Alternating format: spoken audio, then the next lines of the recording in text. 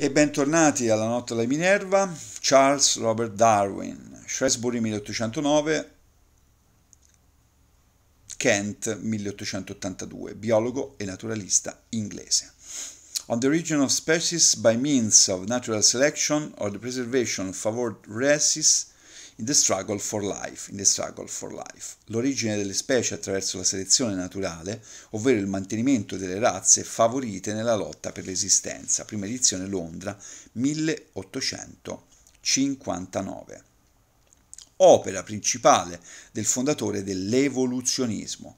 La teoria evolutiva è incentrata sui concetti di selezione naturale e di struggle for life, lotta per l'esistenza la lotta tra gli individui è scatenata dall'eccessivo aumento della popolazione e dalla conseguente scarsità di risorse disponibili. Ditemi voi se non sembra scritto oggi.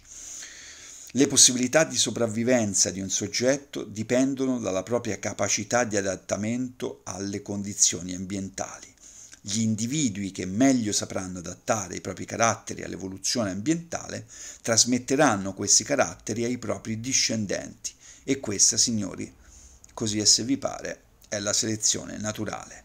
Darwin ricava i fondamenti empirici dell'evoluzione negli ambiti fino a quel momento scarsamente indagati della paleontologia, della biogeografia, della morfologia e dell'embriologia la pubblicazione dell'opera susciterà enormi polemiche da parte degli scienziati tradizionalisti e dei teologi, per i quali la negazione della fissità delle specie comporterebbe sia l'abbandono delle tesi creazionistiche della tradizione biblica, sia l'abolizione della fede nella presenza di un disegno divino della natura.